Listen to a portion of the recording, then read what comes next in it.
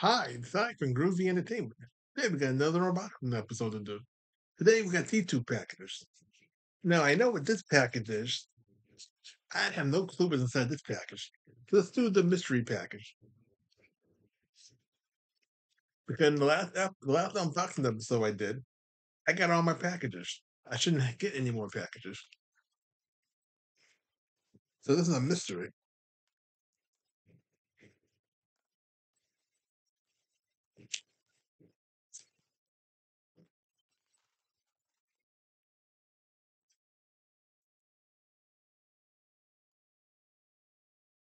Okay, mean, okay, maybe we still got more unboxing episodes do. Oh, I forgot about this book. So we got two more books coming out then. This is the Laughing Book from the Romper Room. Maybe maybe this is the last package because in my other one of my other unboxing episodes, I had talked about the Rumford Room with a picture of a lion on it or a tiger or some some, some animal on the front cover. This is the second book. Let's see if the record in good shape. Yeah, this record's brand new. There's no marks on this record at all. This is in real good shape. And this is from 1963. And it looks like this.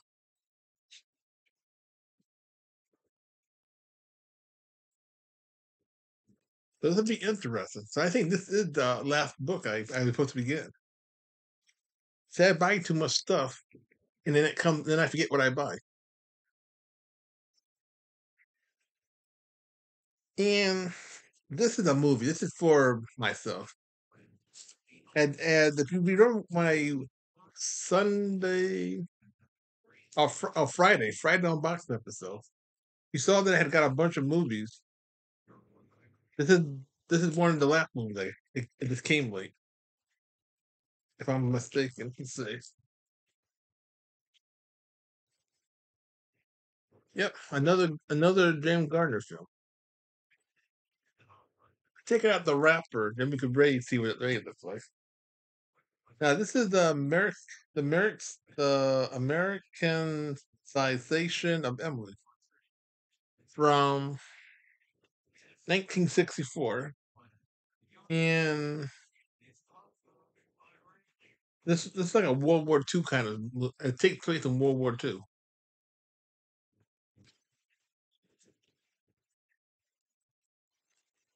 Let's see all this paper.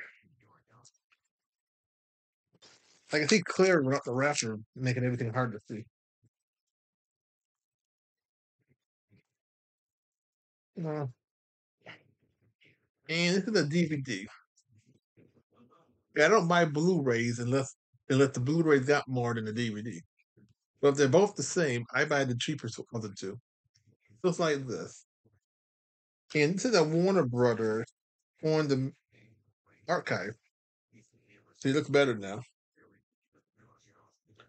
Now I seen this movie maybe once or twice back on AMC and just regular TV.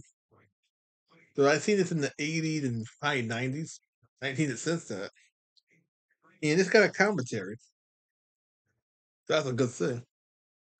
And let's see who's in the movie. You got Ju- Julius Andrews. So I think she's not Mary Poppins, but the other one. And she, oh, I got James Coburn, Our Man Flint. And she's in that movie. I can't remember the name of that movie. My no, yeah, My Fair Lady or uh, The Sound of Music. I think it was called. Yeah, I think it was The Sound of Music because the picture of the always when they showed it on TV, they would show this lady singing on a big giant hill. I think it, mi- I think was, I think I think was The Sound of Music. Now, if I'm wrong, you can leave me in the comments. If I'm right, you can leave me in the comments also. And if you've seen any of them three long movies on the regular TV, like I saw them, I didn't like them. They just came on TV. And back when I seen them, you only had like four or five channels. So they showed a four or five hour movie. Your your day was shot. If, if nothing good but on the other four channels. So that's why I got kind of stuck watching My Fair Lady, Mary Poppins, Sound of Music. They didn't like the movies; they were just on at the time. And this was on regular TV too. This was better than the other three movies.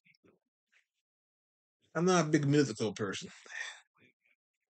And if you've seen this movie when it first came out or on TV, leave it in the comments. It'd be nice to know who saw this movie with me also. I don't know who the other guy is. Uh, Melvyn Douglas. I can't picture his face anywhere. He's not on, and I don't see him anywhere on this cover. I see James Coburn right here. I see James Gardner on top. So maybe this is Marvin right here.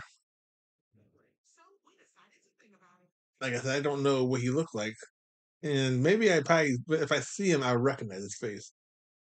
Now, I think this is, I don't know if this is a comedy or what, because I only seen it one time, once or, once or twice. And it was cheap on Amazon.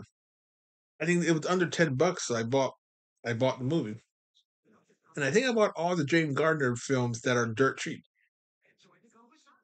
So I got all his early movies now, from the 50s to the, to the early 70s in a TV show, one of his TV shows.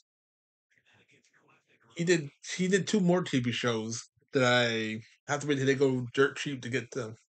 He did Maverick from the fifties and Nicholas or Nickel from from the early seventies when he played a cowboy.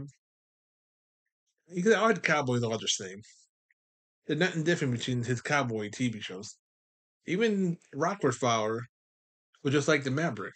He was just a modern day Maverick person. So all we got today was if you remember the Rumpus Room, leave that in the comments also. Like I said in my last videos, I used to walk the Rumpus Room when I was little in the 80s, when I used to call the kids' names out. And they had a lady playing with the kids on TV. And they had different uh, skits and stuff. So we just got these two one for the second channel and one for myself. And if I watch it, I might make a video about the movie. And then you might, and I, I'll talk about it whenever I get a hold of it. I got so many movies, as you see.